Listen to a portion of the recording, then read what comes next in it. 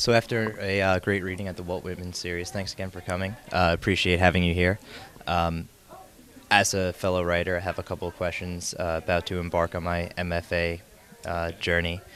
Um, what advice do you have for writers in this kind of blogging century? Um, um, it's it's hard because because your, your natural instinct is to say, obviously we, we, we write not because of the kind of like short term format that blogging allows you to, but because when you when you're writing fiction, short stories, or novels, you have time to really invest in the kind of the complexity of characters and. And I have a hard time seeing how that's possible um, in blogging. It doesn't mean that you shouldn't blog or that you can't blog, but that in the end, like the novel or the story, they exist um, because of their ability to be complicated, because of their, their, their depth to which they can do that. And I, I don't know how much we can do that in those sort of short term formats, but same time we need them. Um, it's kind of different. Uh, it's a different game. It's a different world, which is sort of a lame thing to say, but um, but I already feel like you know, 33 years old, and I feel kind of out of it already. Fair enough. I'm 22. I feel out of it as well. but um, uh, going back to, I guess, identifying yourself as a writer or identification at all, uh, you spoke a lot about, um, I guess, the formation of one's identity and what it means to be an individual and uh, kind of, you know, you're no longer defined as an ethnicity or a race or anything of the sort or culture. You know, you're just an individual. How do you, how do you feel about that? Do you feel that this is a good turn? That there's no more uh, like have we finally achieved the uh, the cerebral state of like individuality, or is it still? Um, yeah, I, I actually think we've achieved it. I think it's actually you almost have to insist on it more so now than, than ever before because there are so many different voices and so many different ranges, and so it's even more desirable, I think, for people to want to kind of like create little categories and boxes that say, well, this is this particular voice, that's this ethnic voice.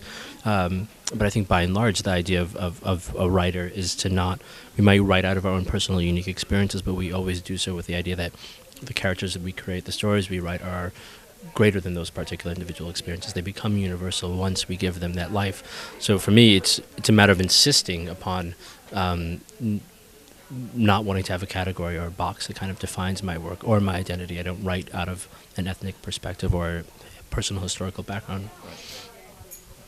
Um, the idea of the journey um, was pretty present in your last novel. Um, I think it was in the New York Times who had said that it was almost like a Kerouacian idea of of uh, a journey which wasn't just for the fun of it, but for no. finding things out. Uh, you mentioned tonight that you return to Ethiopia occasionally, and uh, I was reading another interview where you had mentioned, or rather, it was an interview, something you wrote, where you were saying you visited your grandmother, and there was the picture of, uh, I think it was an out of place photo of your father with a moose and uh, mountains. And um, how do you feel now, again, as this individual, you know, person who's outside of fiction, who's just you know yourself, no. you know? Um, do you think that individuals have these same journeys that characters have, or is it easier for one to embark on this journey as a character? Um, I think you know you create characters so they can maybe sometimes go on those journeys for you. Um, obviously, I think you know there's the, the, idea of a journey is always with the idea that there's something lost that's trying to be recovered or searched for. Um, it might not be something that's actually tangible or that can actually be recovered, but we do set off on on these trajectories in our lives because we're, we're hoping to find something. Um, and sometimes I can't personally always go on like the long epic journeys that my characters do, um, but at the same time I can set them out into the world and I can sort of try to see um, how in their search of you know discovery or their search for for kind of an identity and a home and existence that makes them at peace. Um, probably in the end was always going to kind of mirror my own expeditions, your own searches. Um, may not be the physical one that you take, but it's still always the emotional one. Uh, another question. Um, this one's dealing with gentrification.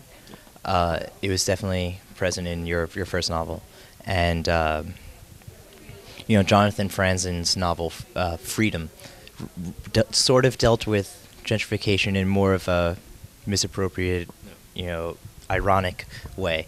Um, Do do you feel that this is uh, an issue that is going to lead on to uh, graver consequences in America? Do you think that there's eventually going to be, be people who are displaced, like first world refugees, so to speak? Yeah, I mean, I think that is what we sort of say gentrification, also kind of shorthand for people like losing their homes, um, and uh, you know some of it is kind of economic improvement, but the end result is that people are are losing their ability to live in their communities, and you know, writing about gentrification in my first novel, I, I found it bizarrely to echo kind of the process of migration that happens out of conflict in Africa as well. This idea that people are being forced to flee their homes, whether it's because of violence or economics.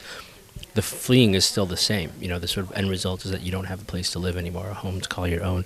Um, what matters most now is how we respond to that. You know, we can't kind of constantly uh, we can't occupy everything. We can't keep taking over new homes and new spaces. Um, there will have to be a place for people to be able to live, and they will have to be able to feel like they can live humanely in their countries and in their cities. Um, I think partly what we're seeing now is a frustration with that, that they can't, that you can't actually subsist the way you were supposed to be able to. And then returning back to uh, literature, uh, when you mentioned the brothers Karamazov in that novel, uh, is there some kind of intertextual uh, link that I missed? or is, is um, and also No. bringing that question even further, you know, furthering the trajectory of it. Uh, do you find that intertextuality becomes something that you uh, bring to your novels, or is it more of a subliminal thing, or not subliminal, rather, is it unintentionally there, or is it an intentional, you know, reference of?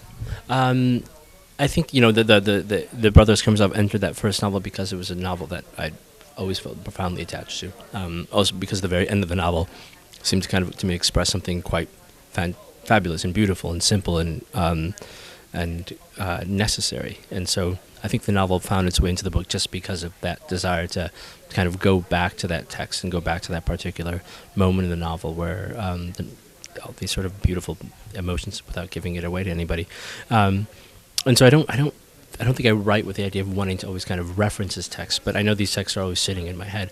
Um, by and large, I know there's tons of kind of like echoes and moments in when I'm writing that I know I'm deliberately kind of referencing in, you know, a book or a novel or a poem. Um, but I don't think the reader will sort of ever be aware of those things because they, they exist probably for my own pure pleasure and my own need. Um, it's not with the desire of kind of like wanting to have these books in dialogue publicly, but they are very much for me in, in dialogue. They're always in conversation with another books, and so um, that first book I think of as very much in conversation with Brothers Karamazov, Dante, and with V.S. Naipaul. Um, and the second book I think of as kind of really indebted to Rilke and the Duino Elegies, and um, and William Carlos Williams as well, actually. And uh, when you write, is there anything that you ever want to aspire to? Not so much emulate, but to uh, pay a uh, homage to. You know, is there any one particular author or one particular piece that you feel you're striving to be the, the the the son of or the spawn of? Uh, no, I don't. Want, I don't want to be the spawn of anything. I think it always sounds like very X-rated. Uh, um, no, I think I think I'm I'm I'm always aware of the kind of like literary precedents that sort of precede your work and um, your ability to kind of, you know, not you don't want to mirror them or echo them. You just want to make sure that you continue, hopefully, to have the same level of complexity and depth as the work that you kind of admire and that you love.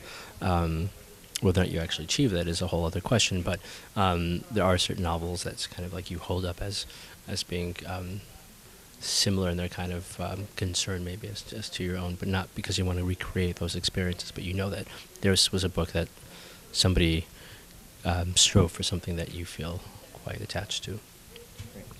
All right. Well, thank you for coming again.